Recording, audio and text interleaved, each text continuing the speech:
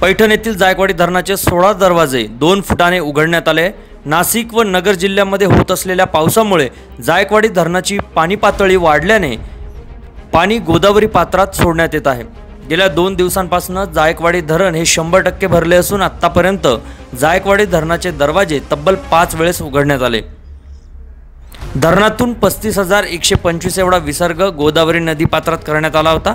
तसेच परतीच्या अवकाळी पाऊस देखील सुरू असल्याने गोदाकाठच्या नागरिकांना सतर्कतेचा इशारा दिला आहे सीनाय महाराष्ट्र शिवाजी गाडे औरंगाबाद.